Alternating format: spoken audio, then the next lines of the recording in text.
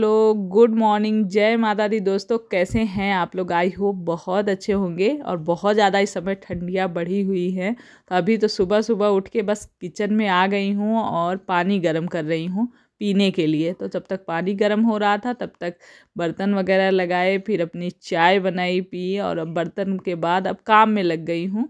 और ये सब्ज़ियाँ वगैरह शाम को हम लेकर आए थे, फ्रूट सब्ज़ियाँ। तो कुछ तो इसमें अब तो ठंडी के सीज़न में तो ऐसा होता है फ्रिज में आप नहीं भी रखेंगे ना तो सब्ज़ियाँ वगैरह ख़राब नहीं होती तो कई चीज़ें मेरी ऐसे ही बास्केट में ही रख देती हूँ और कुछ चीज़ें फ्रिज में रखती हूँ क्योंकि फ्रिज में फिर जगह उतनी बाहर की स्पेस बच जाती है तो जितना फ्रिज में आया था मैंने फ्रिज में रखा था, बाकी सब बाहर रख दिया था और आलू इकट्ठे आ गए थे। इस समय सौ के सात किलो आलू मिल रहे हैं तो मैं पूरे सात किलो लेकर आ गई थी। हेलो गुड मॉर्निंग सुबह हो गई है भैया। सुबह के काम शुरू हो गए हैं। यहाँ पे मैं कूट रही हूँ अदरक और लहसुन। और नाश्ता बनाने की तैयारी कर रही हूँ। साफ़ सफ़ाई वगैरह कर ली है। बच्चों को उठा दिया है। बच्चे उठ के, मैंने कहा एक घंटे तो रिवीजन कर लो। ठंडी में उठने का मन नहीं करता, लेकिन उठाया तो उठ गए हैं। क्योंकि स्कूल भी तो लेट है। आठ आठ बजे इन लोग का निकलने का टाइमिंग है। उठा के आई हूँ। और आज मैं सोच रही हूँ, उन लोग को कई दिन पहले बोला था मैंने, काठी रोल बनाने के लिए। तो नाश्ते में उसी की तैयारी कर रही हूँ, बना देती हूँ। तो काठी रोल बनाने के लिए मैंने यहाँ पर आटा और मैदा दोनों ही चीज़ों को लिया है। वैसे सिर्फ़ मैदा में बनाते हैं, जैसे मार्केट वगैरह में जो बिकते हैं बाहर। तो मैं घर का है तो अपना हेल्थ का ख्याल रखते हुए आटा लगा रही हूँ काठी रोल के लिए, इसमें थोड़ा सा तेल मोयम के लिए, नमक और बस आटा मैदा लेकर पानी से नॉर्मल आटा गूंद लेंगे, सॉफ्ट सॉफ्ट सा, जैसे हम रोटियों का गूंदते हैं वैसे ही। और उसके बाद यहाँ पर पनीर मैंने ले लिए थे थोड़े से और उनको छोटे छोटे टुकड़ों में काट लेंगे, अपने मन चाहे सेब में काट सकते कोई दिक्कत नहीं है।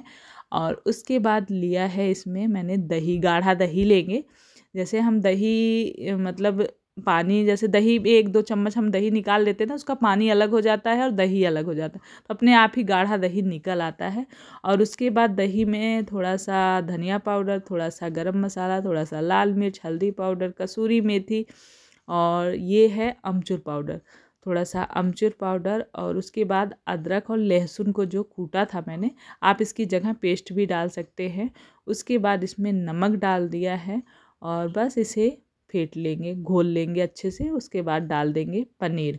तो ये आसान भी रेसिपी है और बच्चों को बहुत पसंद आती है।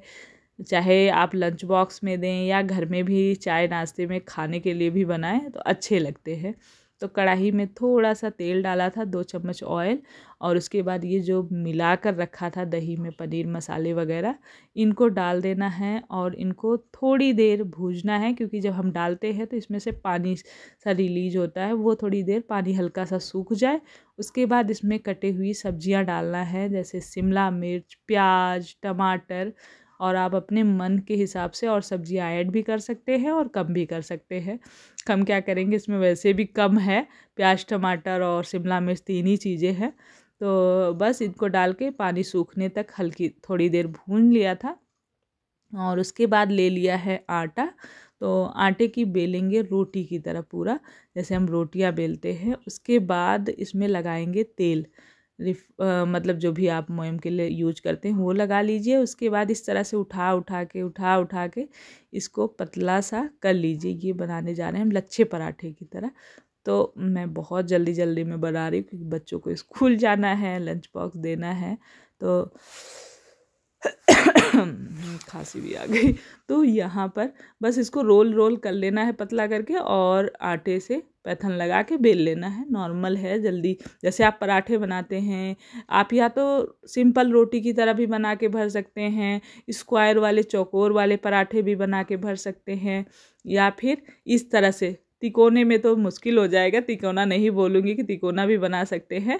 ये वाले आप लच्छा पराठा इस तरह से बना लीजिए, और उसके ऊपर थोड़ा सा मैंने पिज़्ज़ा सॉस डाला था, और पिज़्ज़ा वाला जो आता है मसाला ये नहीं भी डालेंगे, तब भी आप ये मेयोनीज और टमाटो केचप ये लगाकर भी बना सकते हैं।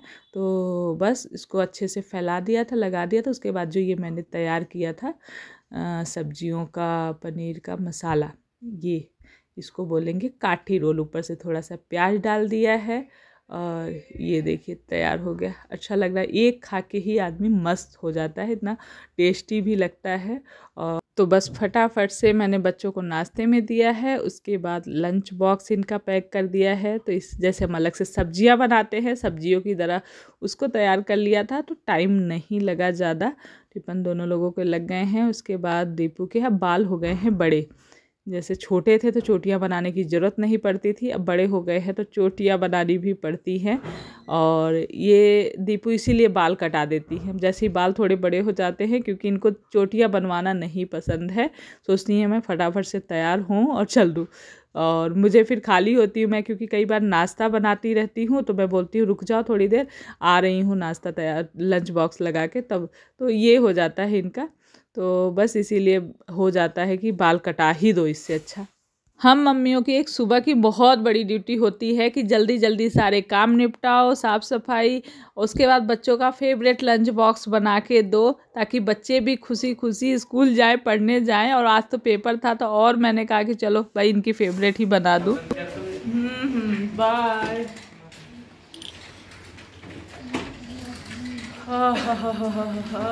ठंडी हवा। चलो।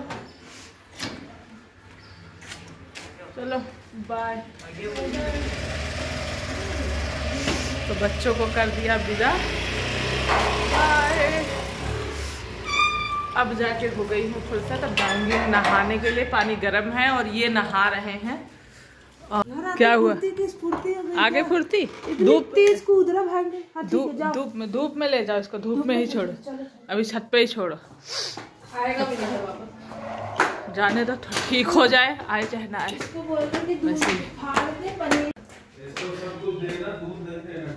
दूध ही पीता है सबसे ज़्यादा। क्या इंजेक्शन लगाया? चार चार। चार इंजेक्शन लगे?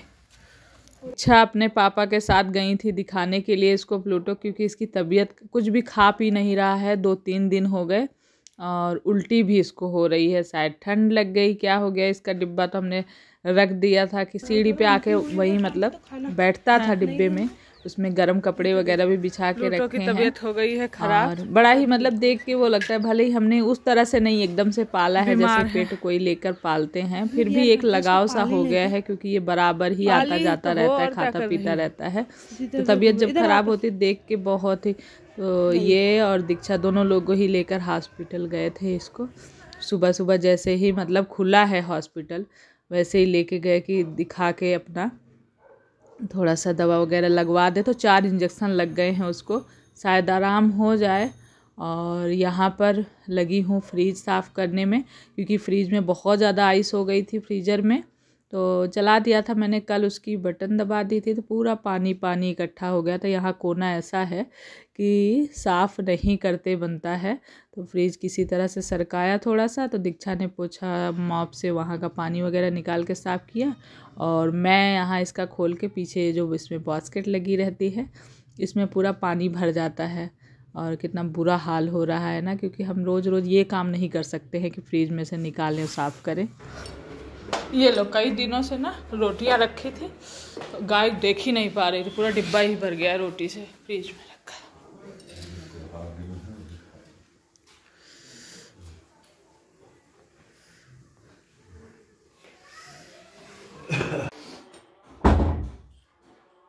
ये देखिए दीपू आ गई हैं स्कूल से और लेट गई हैं। और यहाँ पर मैंने ली है गाजर। थोड़ी सी गाजर पड़ी हुई थी तो इनका सोच रही थी, हलवा बना दूँ। लेकिन अभी अभी मुझे याद आया कि मेरा जो है घी ख़त्म हो रखा है। तो सोच रहे घी भी निकाल लेती हूँ। मक्खन मलाई भी काफ़ी दिनों से इकट्ठा हो रखी है। और ये लड्डू वड्डू कई दिनों से लड्डू वगैरह बनाने के चक्कर में तो निकालना भी नहीं हुआ।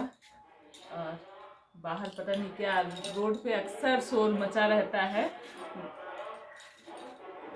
कभी कुछ बेचने वाला आया है तो कभी कोई चीज़ के अनाउंस हो रहा है, कभी कुछ हो रहा है। बड़ा ही शोर मचा है तो मैं ये गाजर ब्रेक कर लेती हूँ, उसके बाद फिर क्या कहते हैं चलती पहले घी निकालूँगी, उसके बाद फिर हलवा बनेगा।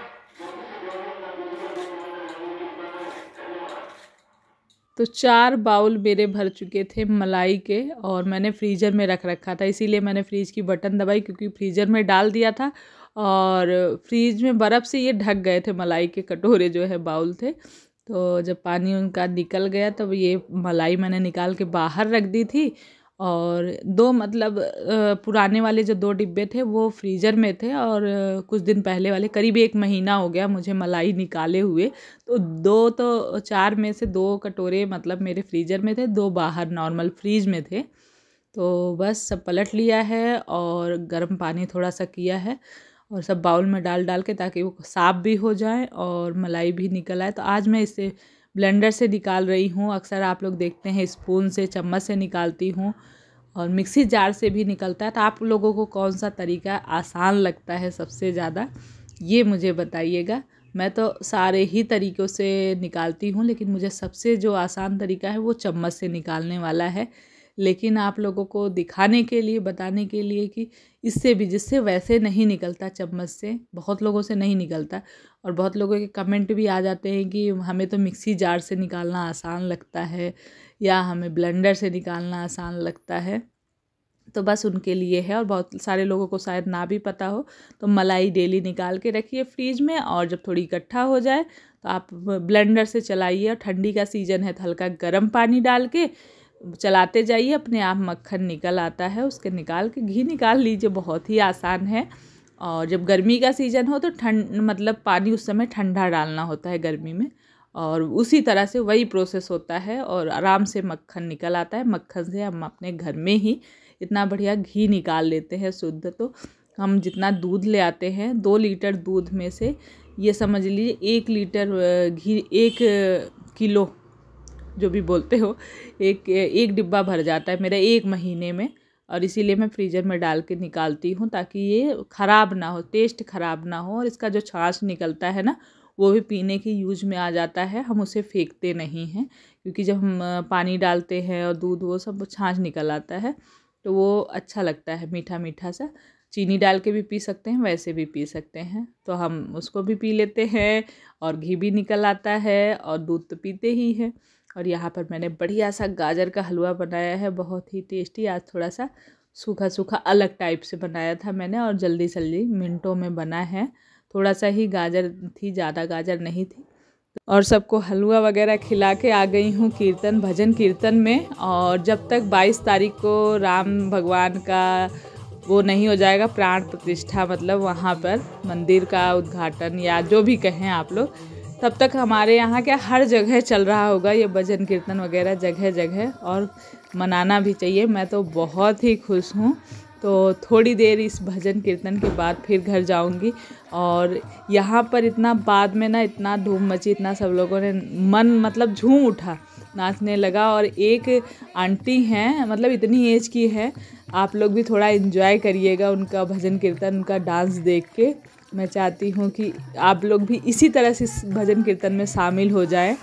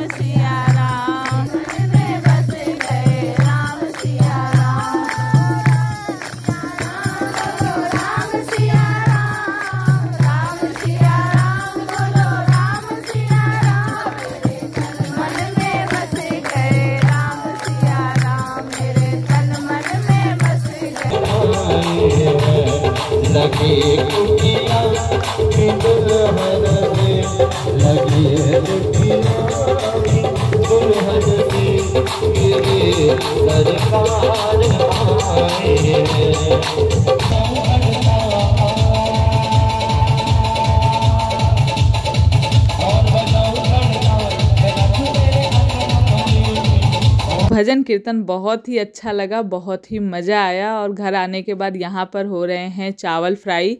चावल फ्राई खाने में बनने जा रहे हैं और चलिए अब इस वीडियो को यहीं पे एंड किया जाए। और वीडियो अच्छा लगता है तो प्लीज़ प्लीज़ लाइक कर दिया करिए। आप लोग बहुत कंजूसी करते हैं लाइक करने में। बहुत मेहनत लगती है एक ब्लॉग बनाने में, एक वीडियो बनाने में। तो आप लोग प्लीज़ अगर देखते हैं पूरा वीडियो तो लाइक तो करके ही जाया करिए। और मोटिवेशन भी मिलता है नेक्स्ट ब्लॉग बनाने का। और सब्सक्राइब नहीं किया है अभी तक मेरे चैनल को, प्लीज़ प्लीज़ सब्सक्राइब भी करें। चलिए फिर love you all take care bye अपना ढेर सारा ख्याल रखें, खुश रहें पॉजिटिव रहें।